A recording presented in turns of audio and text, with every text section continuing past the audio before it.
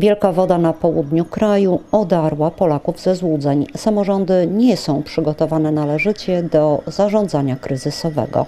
Tymczasem jesteśmy coraz bliżej zmiany przepisów o ochronie ludności cywilnej, jaka ma być powierzona polskim samorządowcom.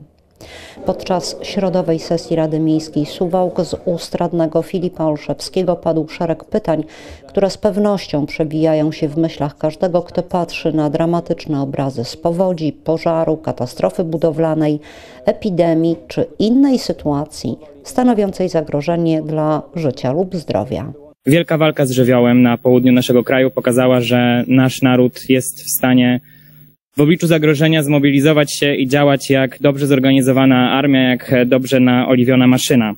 Jednak niestety Wielka Woda obnażyła także ogromne braki po stronie władz lokalnych, zwłaszcza na poziomie samorządów miejskich i samorządów powiatowych. Widzieliśmy e, chaos, widzieliśmy e, rozbieżności e, komunikatów, co niestety powodowało, że walka z tym żywiołem stawała się coraz trudniejsza, a e, można powiedzieć, że w wielu tych ośrodkach zarządzanie kryzysowe w ogóle nie funkcjonowało. Suwałki nie doświadczyły poza okresem pandemii konieczności sprawdzenia zarządzania naprawdę kryzysową sytuacją i miejmy nadzieję, że tak pozostanie.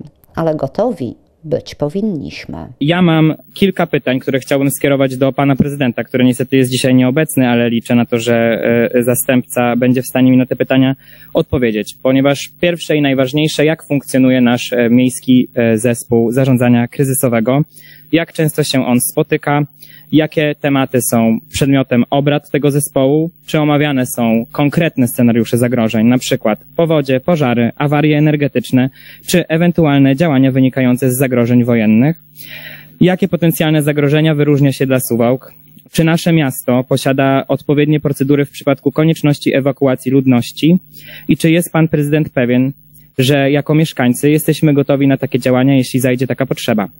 Dodatkowo chciałbym powiedzieć, że nie wiem, czy Państwo jesteście świadomi, ale w poniedziałek e, na Radzie Ministrów przeszła ustawa o ochronie ludności i obronie cywilnej, która stanie się przedmiotem obrad na piątkowym posiedzeniu Sejmu.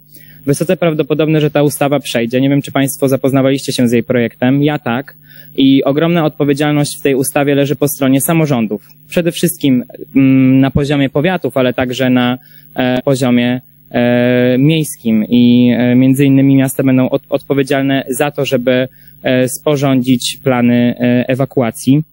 W związku z tym ja mam takie pytanie, czy nie uważa pan prezydent, czy nie uważacie państwo, że członkowie naszego miejskiego zespołu zarządzania kryzysowego nie potrzebują w tym kierunku dodatkowych przeszkoleń? Może nie, czy nie potrzebują dodatkowych spotkań z komendantami policji, z komendantami straży pożarnej, ale także z wojskiem?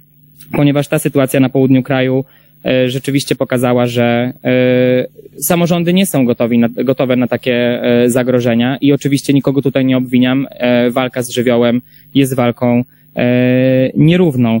Chciałbym także zapytać o współpracę z Powiatowym Centrum Zarządzania Kryzysowego, o komunikację z panem starostą, czy istnieje dobrze funkcjonujący kanał wymiany informacji, aby w sytuacjach kryzysowych decyzje zapadały jak najszybciej i aby uniknąć opóźnień. Poza kilkoma słowami wiceprezydenta Rynkowskiego o pełnym zrozumieniu dla trudnej sytuacji samorządowców z południa Polski, nie usłyszeliśmy konkretnych odpowiedzi na żadne z pytań. Wrócimy do sprawy, gdy do ratusza wróci nieobecny na sesji prezydent Rankiewicz.